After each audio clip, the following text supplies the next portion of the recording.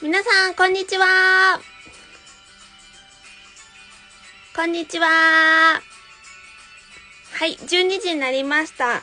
本日もご視聴ありがとうございます。トンカラ王子です。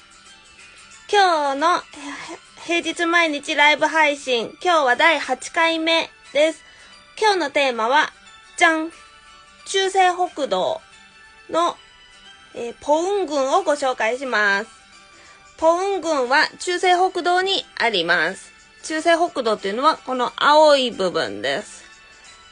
海に接してない道ですね。はい。の中西北道。こちらのポウンになります。ポウンは中西北道の中南部に位置する山地になります。夏目祭りが行われるほど夏目で有名な場所です。そして位置的には東側、東側は、えー、中西、あ、京昌北道の30に接していて、西側はテジョンに接しています。それでは本日もおすすめスポットを紹介します。一番最初は、えー、ポップチュサーをご紹介します。ポップチュサは2018年に山寺、韓国の産地総院としてユネスコ世界遺産に登録された7つのお寺の中の一つです。ソンニ山国立公園に属していて、ソンニ山のふもとに位置していて、553年に創建されたと言われています。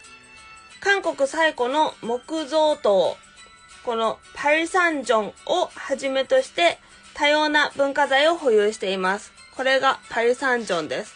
国宝第55号になっています。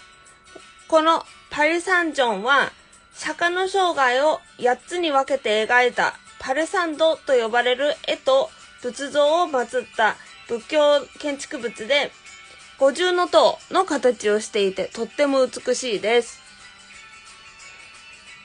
はい。その他にも国宝がいくつかあって、獅子が討論を支えている創始石石塔というのが、えー、国宝の第5号になっていて、もう一つ、こちら、見えますかね？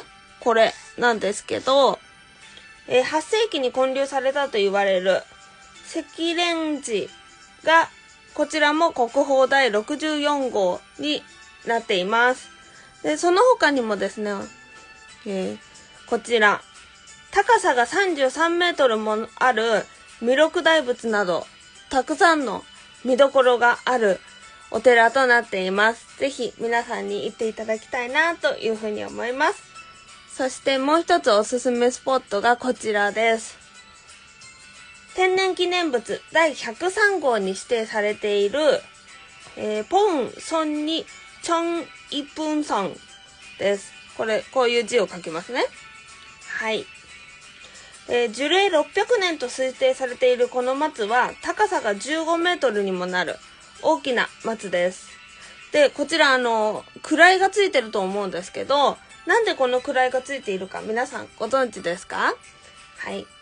なぜかと言いますと、これは1464年に王の聖女がポッチュサに行くときに、この松の枝が垂れ下がっていて、引っかかるなと言ったところ、この松が自分で自分の枝を上げて、ここの下を通れるようにしたそうで、その話から位が与えられたそうです。